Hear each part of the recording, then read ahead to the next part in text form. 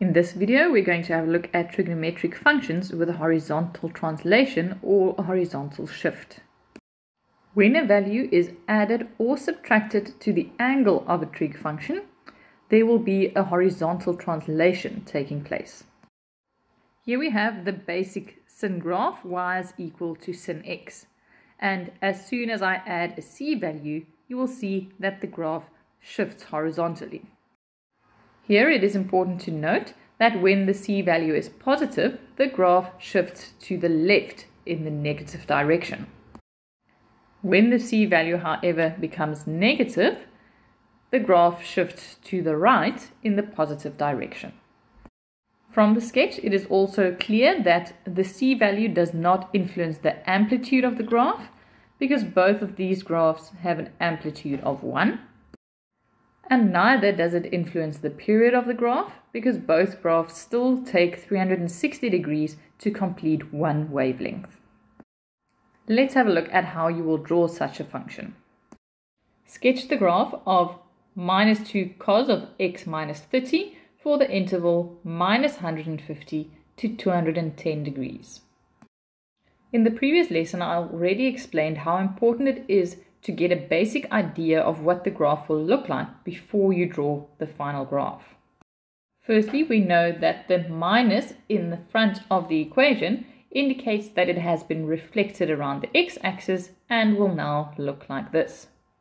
Next, a 2 is multiplied to the front, which means the amplitude changes to 2 and stretches the graph to a maximum of 2 and a minimum of minus 2.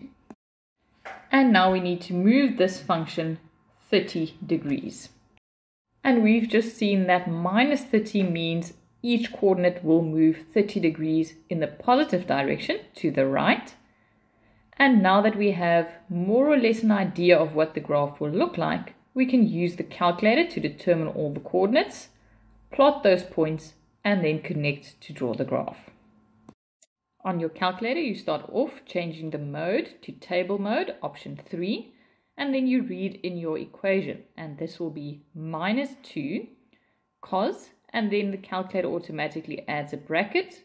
We need to add our x, subtract 30, and then close the bracket.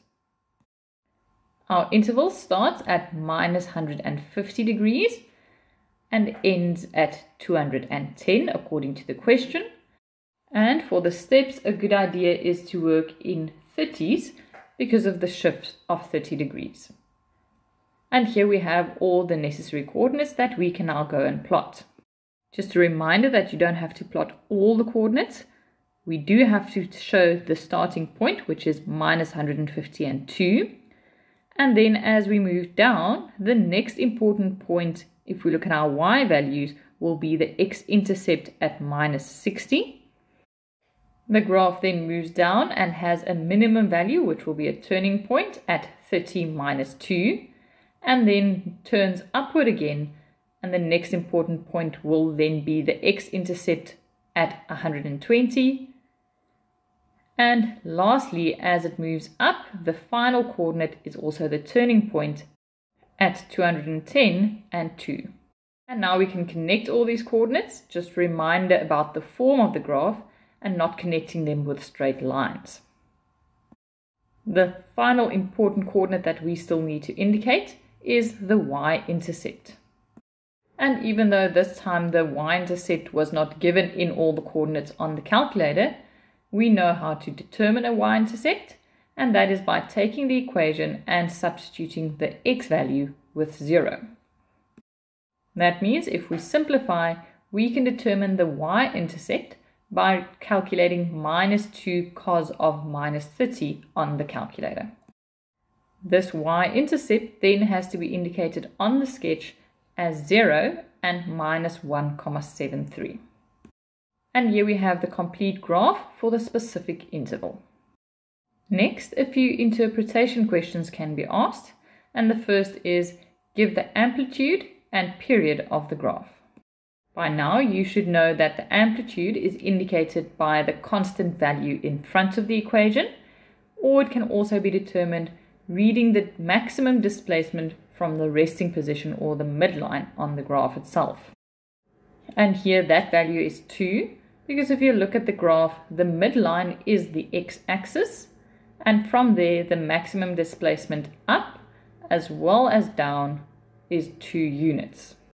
It still takes this graph 360 degrees to complete one full wavelength, so the period is 360 degrees. Question 2. Give the range of f. For the range, we need to determine where this graph starts according to the y values, the y-axis, and that is at minus 2, and then it goes all the way up to a value of 2. Therefore, the range will be all y values between minus 2 and 2. And this can of course also be written in interval notation, so y will be between minus 2 and 2. In the next lesson, we'll have a look at how we can take trig functions and stretch them horizontally.